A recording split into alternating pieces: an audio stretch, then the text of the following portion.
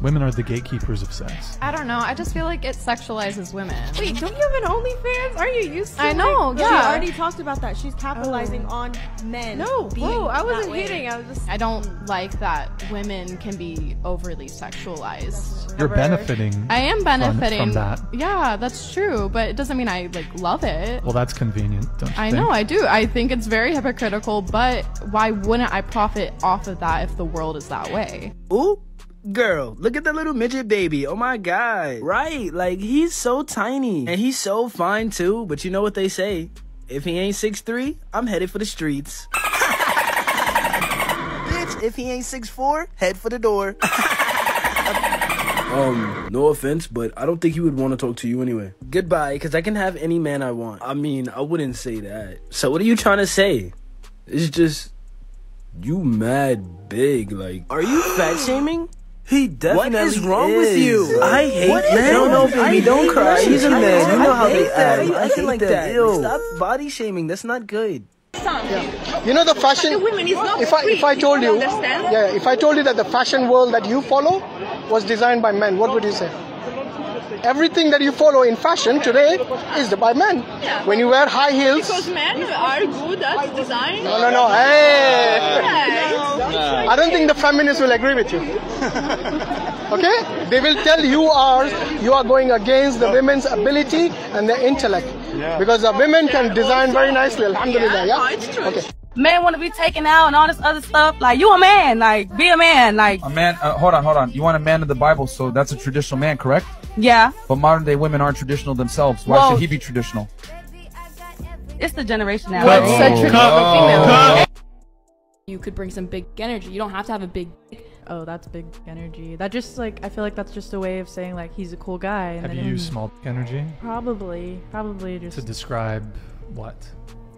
An asshole, a Okay. douchebag. Who here is for body positivity? Yes. Yeah. Who isn't? For body I hope positivity? you are. Yes. How can you simultaneously say that you're for body positivity, but then also use these terms? Because it's not actually about their body. The reverse? Like- Y'all would lose your shit if, if we were talking about loose p- energy, caver- cavernous va- energy, Dang. small p- energy, girl energy. Like, y'all would lose your minds if guys were using these terms the same way that women use big energy, small. Self improvement, men or women? Men, but they're all gonna say women. Self improvement, definitely women. Okay, rate yourself on a scale of 1 to 10. I'm a 10, I'm a 10, I'm a 10. But see, like, it, they literally are about to be hypocrites in the first sentence. Women are better at self improvement, but I'm already perfect. I know this because they all think the same thing. Listen. Hands across the board. Oh, period. Okay, And they don't even realize the irony of that statement. They just so proudly look at the fucking lack of self awareness and just all the pride on their faces from Instagram. saying you're a 10 admitting there's no room for improvement? No. No, not at all. Isn't the first step towards improvement admitting you're not perfect? You're right. Yes. We were perfect. We just said We we, said were we're tens. You s- focus on yourself, Kings. Don't waste your don't waste your attention. Don't waste your energy on them. What up, what up, what up? This is Mike, the philosopher, here with another one. This one is about what I would call the gray zone. What is the gray zone or the gray area? Well, the gray zone is where I've discovered and I created this zone. Now, some might say, well, it always existed, but I'm actually slapping a label on it officially. And this is something that I've noticed that is an area that seemingly a lot of women like to live in. What is this gray zone that women like to live in, Mike the philosopher? Well, let me tell you. The gray zone is an area where women feel that they can escape accountability. Okay. Now, accountability uh, is a bit of an issue, not just with black women, but all women on the planet, especially Western women. Okay. And it's some it's an area that they've created a safe haven that they can go and live to escape accountability. Now, some might say, well, give me some examples of this. Okay. Let me give you some examples. What do you call these two guys? First word that pop in your head is probably fat. Okay. What do you call these two women? The first thing that pop up your, in your head is probably singers. The gray zone is an area where women can go and not be judged like men are judged.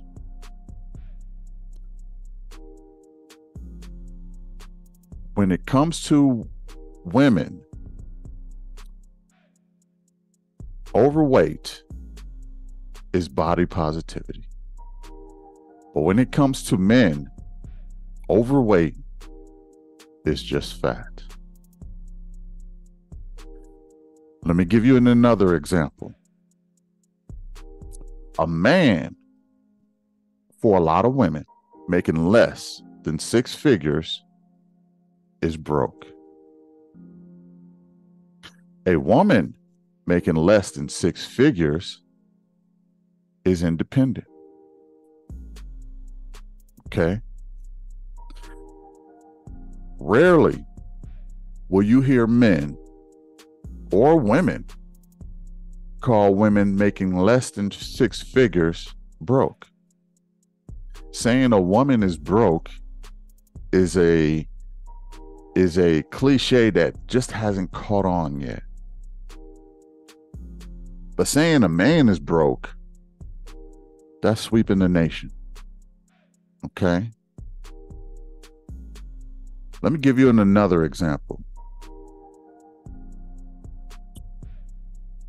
A black woman dislikes when a black man marries a white woman, especially if that black man has a lot of money. But when a black woman marries a white man, you hear the soothing tones of crickets.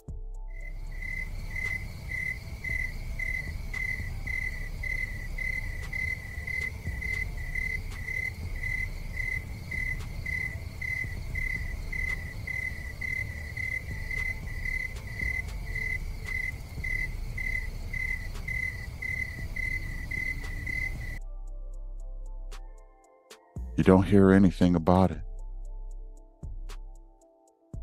And the question is, why is this? Well, it's because it's the old I can do what you can't do so that I can have an unfair advantage. I can claim body positivity. I can claim independence as a woman. I can claim to to date and marry white men, but you cannot do any of these things. You cannot date outside your race as a black man. I can travel the world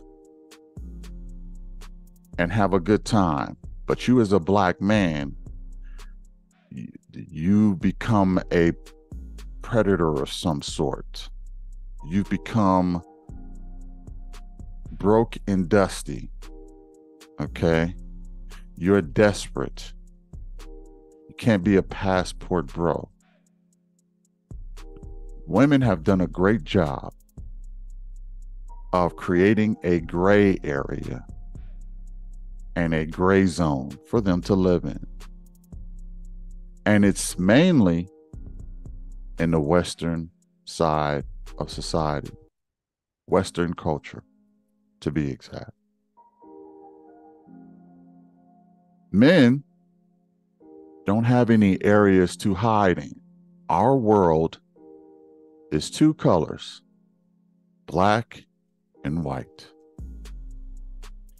We are put in these categories. You're either broke or you're not. You're either fat or you're not. You either look good or you don't. You either got a huge Johnson or you're small. We live in a black and white world as men. But women do not like to get categorized, so they escape to the gray zone where they can live comfortably, sip tea, eat cookies, and chat amongst themselves and live a fabulous life with one pinky in the air. Now, this might sound like some type of a female dislike video. It, oh, far from that. It's not that. Here at Black Man Rankings, we absolutely adore women. We love women. We will continue to love women forever. This is not to shame them. But if you feel that you're offended by this video as a woman, it's because you are actually proving my point of accountability. You're actually proving my point of your gray zone. But if you agree, then this whole video may be wrong. You decide which one it is. In the meantime, hit the like, share, and subscribe. And we will catch you in the next one. Peace.